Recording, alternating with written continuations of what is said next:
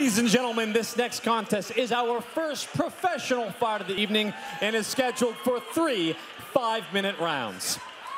Introducing first, fighting out of the blue corner. He comes to us representing Red Schaefer MMA. Ladies and gentlemen, welcome back to NEF, Jay Ellis. And his opponent, standing directly across the cage, fighting out of the red corner to my right, representing Rodrigo's Dungeon and Young Lion MMA, ladies and gentlemen, Rodrigo, the Young Lion Almeida. Two Three guys rounds, welterweights, your referee, Steve Rita. Interrupted uh, Pete Simbar there, but we got two guys with incredible amounts of experience. No doubt. Jay Ellis with the blue tape around his gloves and black shorts. His shorts are a little bit longer. Almeida with the red tape around his gloves, and he has the white trim and black shorts that are a little bit tighter.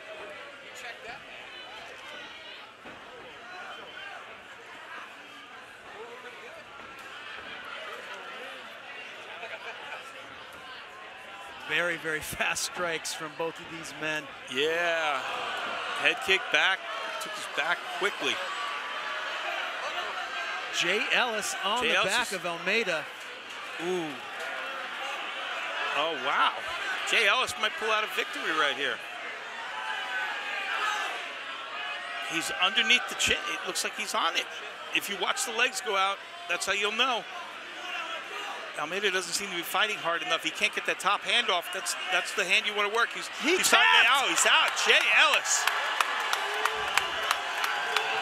Jay Ellis with the victory. Wow. Jay Ellis. And I think Ricardo thought he was going to have an easy fight. He's devastated. He's devastated. Wow. Jay Ellis is pumping his chest. He don't win a lot, man, but when he does, look at him go, man. Yeah, he got the crowd pumped up. Whoa, man. He's he, he's grabbing Steve Rita. And I feel bad for Ricardo. I really like Ricardo. I know him. I like him. Unfortunate. That's the game, though. Yeah. Somebody got to win. Somebody got to lose. And he's emotional in the cage right now. Yes. But hey, anytime you step into the cage, especially at the professional level, you know, you're taking a chance. I mean, all these guys are, are legit. And Yeah.